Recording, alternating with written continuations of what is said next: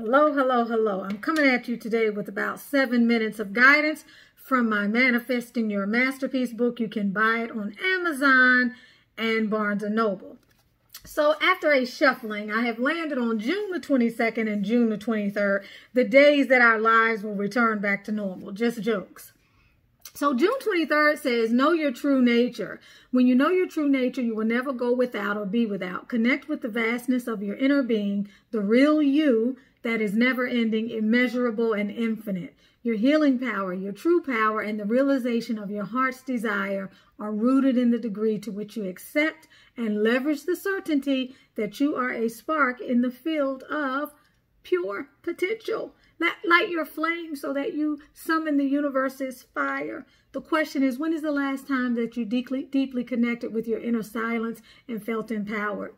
Now, before I actually you know, I use this book as an oracle, which you should too. And it is about the current situation. It's interesting because I have a video after this plan to talk about the importance of going within and the, the, the, the, the necessity to really realize that you have to connect with the unchanging, timeless, fearless field of pure potential that is within you okay and so in order to, to, to, to really be able to appreciate the vastness of your experience and the beauty of who you are and to feel grounded in the midst of everything that's going on. That's my dog. She is not grounded at all. Albie!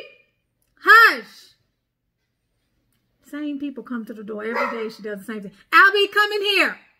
Sorry about this, but I have to finish this video. It's one in many that I'm doing that I'm batching today. Albie, stop it, okay? So your ultimate stability your ultimate rootedness, your ultimate grounding is going to be found in the inner aspect that is you.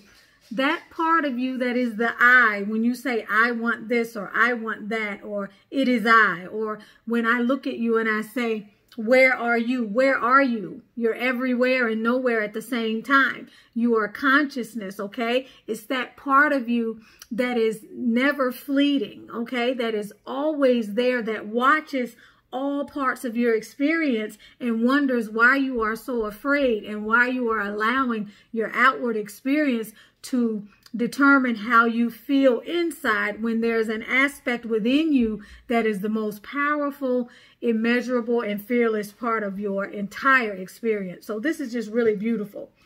Okay, so we need to not be so reliant on the things that are outside of us. When you are grounded within your own being and when you are Sophia, make her stop.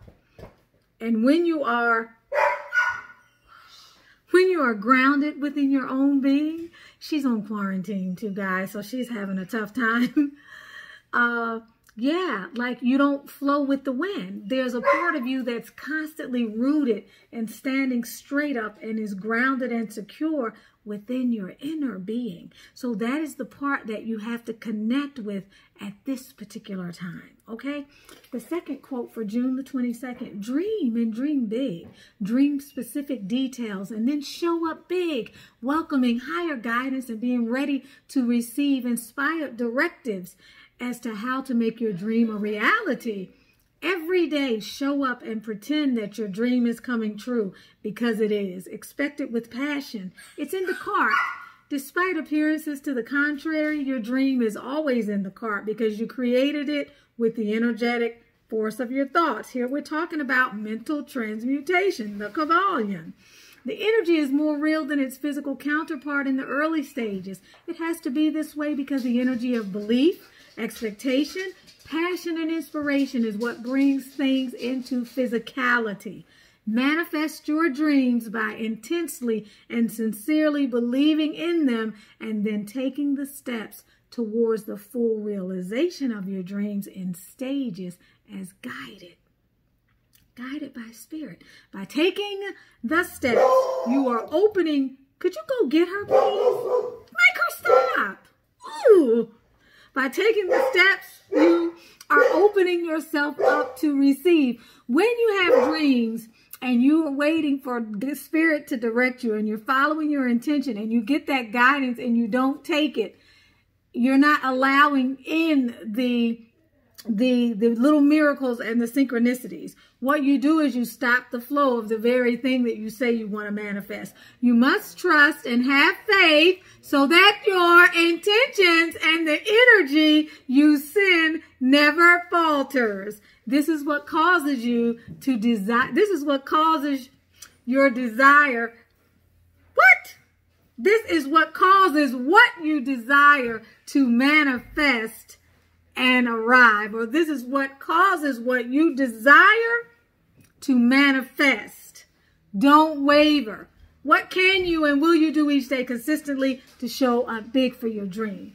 What can you and will you do day in and day out consistently to show up for your dream. You're with Tunisia Ali, helping you to gain clarity, to clear and heal energetic blockages, to uplevel your mindset, and to manifest the glory of God that is within you. And now is the perfect time to do it. Keep visualizing and keep dreaming while you're in quarantine. You have more than enough time. Have a beautiful, lovely day.